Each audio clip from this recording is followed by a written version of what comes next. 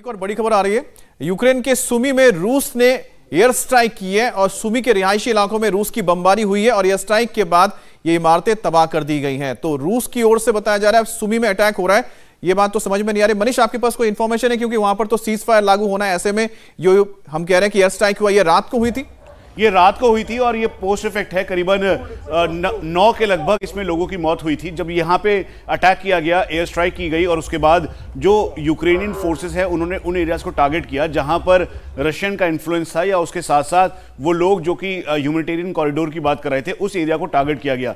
Russians के हवाले से ये खबर आ रही है कि दरअसल यहाँ पे करीबन आधी रात तीन से चार बजे के बीच इस समय लगातार फायरिंग की गई बॉम्बिंग की गई। और हम आपको ये भी बता दें कि सुमी हमारा मैटर ऑफ़ कंसर्न इसलिए भी है क्योंकि यहाँ से महज दो किलोमीटर की दूरी पर वो हॉस्टल्स हैं। ये आउटर स्कर्ट नहीं है, बल्कि सिविल एरिया वो यूनिवर्सिटी के पास का एरिया है, जहाँ पर नुकसान हुआ है। नुकसान की तस्वीरें आपको दिखाई दे रही हैं और ये हैवी डैमेज है। इसका मतलब जब शेलिंग की गई, यहाँ पर बॉम्बिंग की गई तो उस दौरान यहाँ पर जितना भी इम्पैक्ट था वो आपको दिखाई दे रहा है। उसके अलावा एक और बात हम आपको बता दें कि यहाँ से महज दो किलोमीटर की दूरी पर वो स्टूडेंट्स हैं, भारतीय स्टूडेंट्स करीबन 700 से 800 की संख्या में जिनको इवैक्यूएट करवाने के लिए ह्यूमनिटेरियन कॉरिडोर का ज़िक्र करते हुए अब वो पैसेज तैयार किया गया अब फिर से यहाँ पर सीज फायर लागू हो गया लेकिन उसके बावजूद भी तस्वीर बदलती हुई नहीं दिखाई देती। कल जो अब तस्वीर हम देख रहे हैं और पूरा जिस तरह से जो तस्वीरें आ रही है ऐसा हमने डैमेज अभी तक देखा नहीं है। पहली बार हम देख रहे हैं कि शायद ऐसा हुआ है कि पूरा का पूरा एक जो दायरा है जिसमें 800 मीटर का मुझे लगता है कि पूरा का पूरा फ्लैट कर दिया है। तो किस तरह का हमला रहा होगा क्या वजह रही होगी? देखिए जो मेरा इस पे सोच विचार इस प्रकार है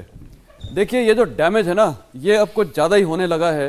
क्योंकि देखिए एक प्रोफेशनल आर्मी ये सिविल रिहायशी इलाकों को बिल्कुल फ्लैटन करना ये तो बिल्कुल सेकेंड वर्ल्ड वॉर में जो हुआ था वो हो रहा है।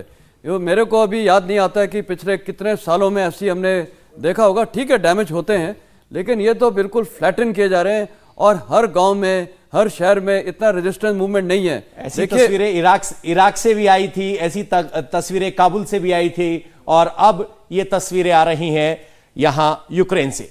यूक्रेन के वासिल कीव में मिसाइल से हमला हुआ है। रूसी सेना ने कीव की घेराबंदी कर रखी है।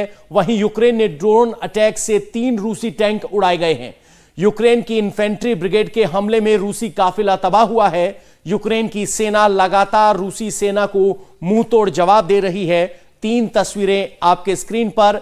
वासिल कीव में मिसाइल से हमला, उसके बाद रूसी काफिले पर अटैक और बख्तरबंद गाड़ियाँ, तबाह। अमित के पास एक बड़ी खबर है। और आपको बता दें एक और बड़ी खबर आ रही है। खारकीव से जहाँ पर पूरी रात बमबारी की गई है, जिसकी थोड़ी देर पहले भी हमने आपको तस्वीरें दिखाई थी, वहाँ पर बमबारी हुई थी और रूसी सेना की बमबारी में बताया जा रहा है चार लोगों की मौत हो गई है। तो यह बड़ी खबर आ रही है खारकीव, जहाँ आपसे थोड़ी देर में, बस कुछ पंद्रह मिनट, सत्रह मिनट बाद सीज फायर लग जाएगा, लेकिन उससे पहले की तस्वीर आपको दिखा रहे हैं। कल रात को जो बॉम्बिंग हुई थी, उसके बाद आप देखिए हाई राइज बिल्डिंग है कॉम्प्लेक्स है, जहाँ पर आग लगी हुई है और यहाँ पर जो फायर फाइटर्स हैं, वो अपने लैडर्स के साथ पहुँचे हैं और यहाँ पर आग को बुझाने की कोशिश की जाइए लेकिन देखिए, इस तस्वीर में भी एक बहुत ही बड़ा विरोधाभास ये आता है कि एक शहर पर लगातार बॉम्बिंग हो रही है, लेकिन वहाँ पर फायर ब्रिगेड काम कर रहा है, वहाँ पर एंबुलेंस काम कर रही है, वहाँ पर जो आपकी जो सिविल सर्विसेज़ है, वो काम कर रही है। तो ये अपने आप में एक बहुत बड़ा सवाल है जो समझ में नहीं आता है हमें। ऐसा क्यों हो रहा है, सर? आपका आंसर हम चाहेंगे, साथ में हमारे साथ कल टिकू भी जुड़ गए कल टिकू, आप भी बताइएगा। देखिए जो तस्वीरें अभी आप दिखा रहे थे और जो शहर की तकरीबन तकरीबन काफ़ी बर्बादी हो चुकी है, ये ये तस्वीरें एलेपो शहर की थी, सीरिया के अंदर।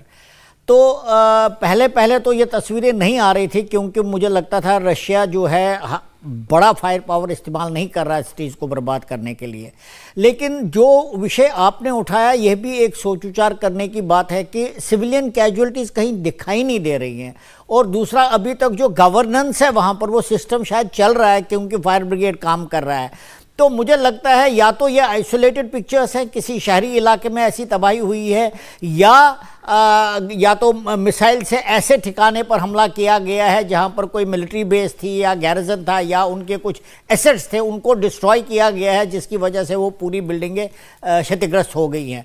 लेकिन जैसे जैसे युद्ध आगे बढ़ता जाएगा और रशिया कंप्लीट कंट्रोल नहीं कर पाएगा मैं मानता हूँ कि वायलेंस ज़्यादा बढ़ेगा डिस्ट्रक्शन ज़्यादा होगा और रशिया बॉकडाउन हो जाएगा। के जो पेशेंस है वो भी लूज करता है। सर आप इस पर कुछ जोड़ना चाहेंगे? कैसे बाकी जो हम देख रहे हैं सिविल जो वहाँ पर हम देखते हैं एम्यूनिटीज वो कैसे अभी भी इंटैक्ट है? ऐसे शहरों में खासतौर पे खारकीब जहाँ पर तो इतनी बॉम्बिंग हो रही है। देखिए बहुत क्रेडिटेबल है कि ये इस हालात में भी ये सारे चीज़ें इंपॉर्टेंट एस्पेक्ट फंक्शनल हैं, जैसे फायर ब्रिगेड है एंबुलेंस वगैरह।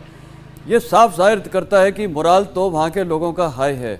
लेकिन सवाल अब ये उठता है कि ये लड़ाई आगे कैसे चलती रहेगी, क्योंकि अगर यही इतना अच्छा कोऑर्डिनेशन और दूसरा एक और कोऑर्डिनेशन आप देखिए इंफॉर्मेशन वॉरफेयर ज़रूर है। लेकिन कितनी जल्दी वो प्रोसेस होके हर लेवल तक जा रहा है, दूसरे देशों में जा रहा है, हमारे टीवी चैनल्स पे भी आ रहा है। तो ये भी दो बहुत क्रेडिटेबल चीज़ें हैं कि उनका जो कमांड कंट्रोल स्ट्रक्चर है, मेरे ख्याल ये ब्रेन उनका बहुत अच्छा काम कर रहा है कि तुरंत एक्शन हो रहा है। इंडिया टीवी हर वक्त, हर जगह। डाउनलोड करने के लिए सर्च करें India TV news Google Play Store या एप स्टोर पर।